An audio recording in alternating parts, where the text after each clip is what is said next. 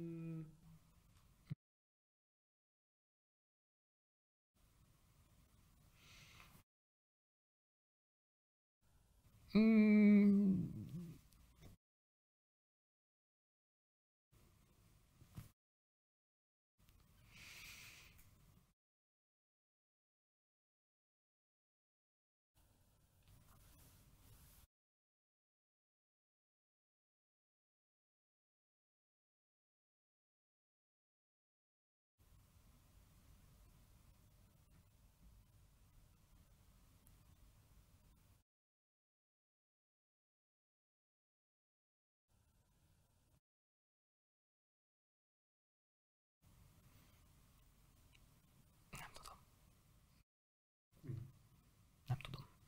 Ez volt az interjú Fekete Győr Andrással.